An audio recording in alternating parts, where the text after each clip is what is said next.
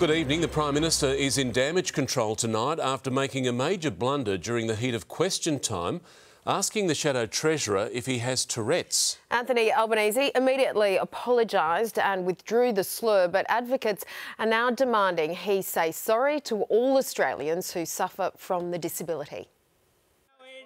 On a rowdy day in Parliament, the constant interjections getting under his skin. Anthony Albanese lines up Shadow Treasurer Angus Taylor and goes too far. The idea that we're. Have you got Tourette's or something?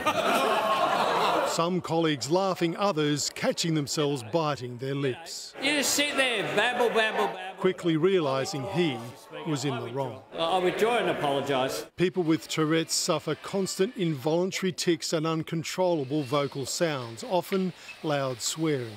That he would mock somebody with a disability just for his own political gain. It is just outrageous. I'm absolutely livid. Mandy Macy has three children with Tourette's. It was really hurtful that it could be used, Tourette syndrome could be used as an insult. Making a bad day even worse for Anthony Albanese, a motion designed to condemn Hamas and Hezbollah, ending in opposition leader Peter Dutton condemning him.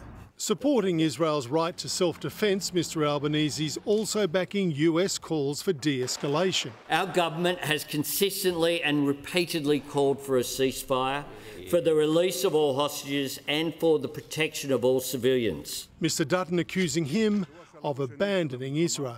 Now is not the time. and Your predecessors would have had the decency to respect the Jewish community in a way that you have not done today. And for that, Prime Minister, you should stand condemned a bitter divide. Mark Riley, 7 News. As we go to air, a Qantas Mercy flight is on the final leg home, carrying hundreds more Australians escaping the Middle East. They're hours away from the scenes of joy and relief witnessed last night during emotional reunions at Sydney Airport. Passengers on the government's first Mercy flight emerge from customs. Anything to declare? Just their relief. 349 rescued Australians returning from a holiday in hell. Yes! Yes! The hugs never felt so good. This little boy, inconsolable. I missed you so much, he tells his granddad.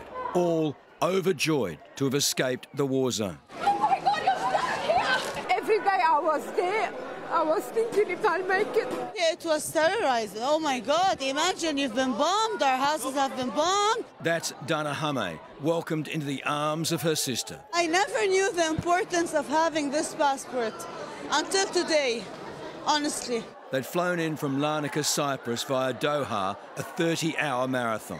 When we were packing our bags, we were hearing uh, bombs, planes, and drones. We are dead, now we are alive. Of the 15,000 Australians thought to be caught in Lebanon, more than 1,200 have received government assistance to escape. There are 3,892 Australians and their immediate family members registered to depart. Vulnerable and displaced people are being prioritised. The flights home free. We are lucky to be here. We're lucky to have a government like the Australian government. Even King Charles got a shout out. Long live the King! The next flight arrives tonight, another follows tomorrow. Now tonight's flight is due to arrive here around 8.30 this evening. It's a Qantas 787 Dreamliner, the first of two Qantas charters tasked for this mission. For those families that want to follow it or track it, its call sign is ASY 1258. Now Qantas tells us it's travelling on the longest route on its network, some 16,000 kilometres. Uh, then I should say it's taking about 17 and a half hours. Guys. Incredible. OK, thanks so much. Chris Reason at Sydney Airport. The Premier is threatening to shut down weekly pro Palestine demonstrations claiming it's costing millions of dollars to police them. He's now ordered a review to investigate if stretched resources could be used as a reason to block the protests. Every seven days for 51 weeks. They've congregated in the CBD calling for a ceasefire in the Middle East. But policing the pro Palestine protests isn't cheap. $5.4 million this year alone. I think taxpayers in New South Wales would expect that their police are able to investigate domestic violence crime, knife crime, theft in our community. Chris Minns has now ordered a review into how the rallies are handled and whether they could be banned because of the drain on police resources. Well, that's something we'll fight because we have a right to protest. The huge, crazy levels of over policing we saw over the weekend were not our decision, that was the Premier's decision. The opposition has suggested the Premier amend the Police Act to introduce a user pay system for repeat protests, shifting the cost from the taxpayer to the organiser. If they want to protest week after week on the same issue, they should pay the bill. If it was up to us, we could protest every week without police. This speaker may not get the chance after remarks made in Lakemba on the anniversary of October 7. Today is not fully a day of mourning. In many respects, today is also a day that marks considerable celebration. The government, uh, all of us condemn his comments. There's nothing to celebrate. The American academic's travel visa is now under review. Bill Hogan, 7 News. Israel appears ready to open a new front against Hezbollah in Lebanon, with civilians warned to avoid the country's southern coastline. Benjamin Netanyahu remains defiant, insisting he'll continue to wage war until all of his country's goals are realised. A year and one day since the war began, a new dawn over Tel Aviv. But the nightmare of October 7 continues to haunt Israel. Even as Israelis marked the anniversary of the Hamas attack, the country's Iron Dome defence system was intercepting missiles from another terror group, Hezbollah, in Lebanon. At Israel's national commemoration ceremony, empty chairs on stage representing hostages still held in Gaza. Prime Minister Benjamin Netanyahu vowing to bring them home and destroy Hamas. This is a sacred mission, he said. We will not stop until we complete it. The mission clearly broader now as Israel attacks Hezbollah positions in Beirut and the sky over southern Lebanon is lit up by Israeli airstrikes. The IDF is now warning civilians to avoid the coastline south of Sidon, expectations growing of an Israeli maritime offensive.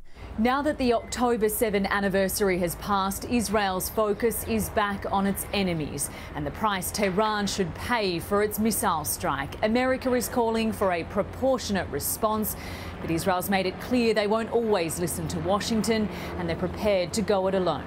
In Tel Aviv, Ashley Mullaney, 7 News. The case against former police officer and accused double murderer Beau Lamarre Condon has been delayed again. His lawyers today asked for another adjournment, saying a plea will be entered next month. The 29-year-old allegedly shot Jesse Baird and Luke Davies with his police-issued Glock in Paddington earlier this year. Their bodies were found near Goulburn days later. Lamarre Condon will face court again on November 8. For the first time, we can show you the face of the woman accused of one of Sydney's most gruesome crimes. Nameen Nufal allegedly murdered her husband Mamdouh in their Greenacre home before cutting his body into pieces and dumping it in bins. For almost a year, Mamdouh was treated as a missing person, but last week his partner of more than 30 years was charged with his murder.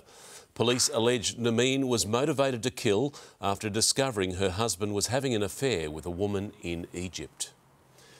The National Australia Bank has made a major move cutting its fixed interest rates, but the Reserve Bank is acting far more cautiously, refusing to rule out the possibility of rate hikes.